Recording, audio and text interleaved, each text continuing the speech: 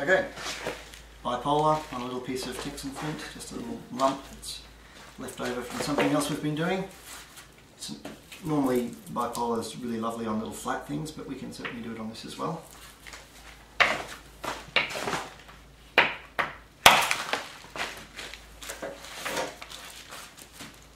Just positioning it so that it's got a point on the, on the bottom and a point on the top.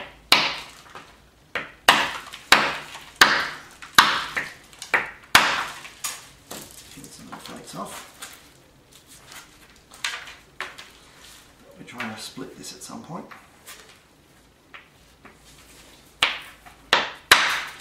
There we go. A nice beautiful split there. Crushing at both ends. All of that came off at once. And now we'll start to get some usable flakes once we've got that split on there.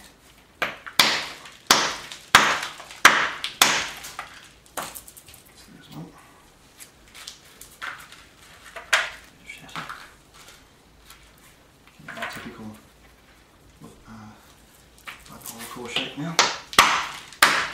Another one. Bulbs on the bottom. So it all, where the bulb is depends on where it makes contact with the antler or the hammer. You're getting that classic ridge forming on the top.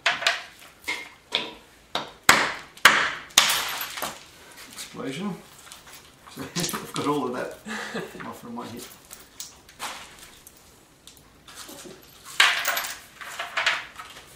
Lots of little mini splinters, little elongate chips and flint mm. splitters. You can use those for lots of things, like a little blade there.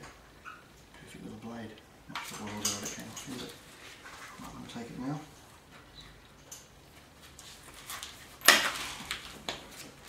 It's yours.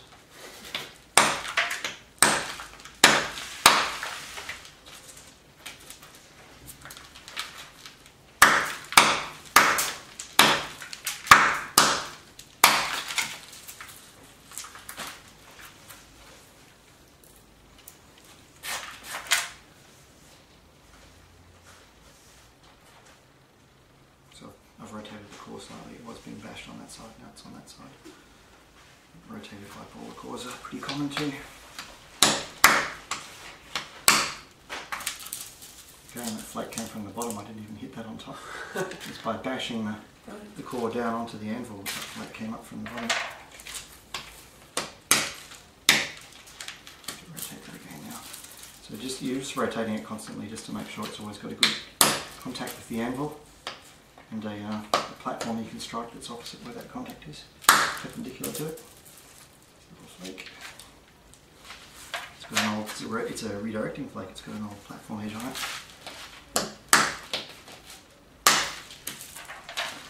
Another explosion. Getting a very classic bipolar core form there now with flakes coming from both ends. It's getting skinny, long and skinny.